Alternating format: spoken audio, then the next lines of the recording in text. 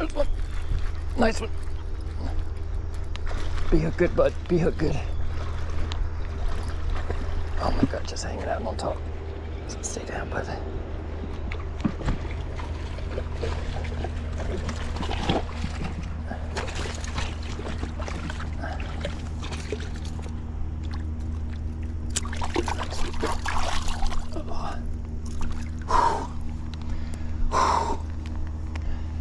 Look at that.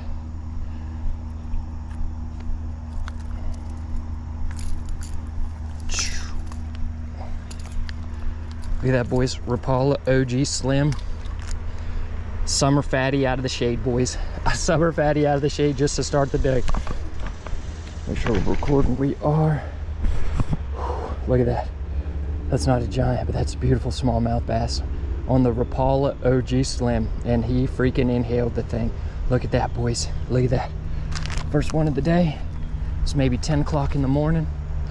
We're cranking these deeper pockets here for summer smallmouth bass with the Rapala OG Slim.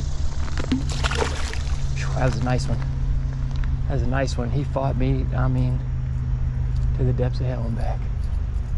Phew. Phew. Right back there in that shade pocket. How about that big, fat, smallmouth bass on the Rapala OG Slim?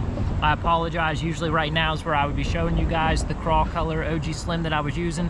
I have like 30 of them things. Somehow I only had one with me in the bag and I broke it off in literally the one spot in the creek where I can't, uh, it's just too deep for me to get to.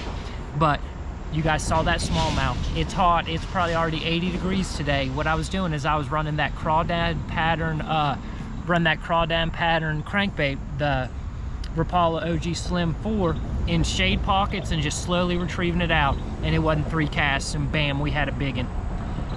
12 pound fluorocarbon, medium baitcaster equipment.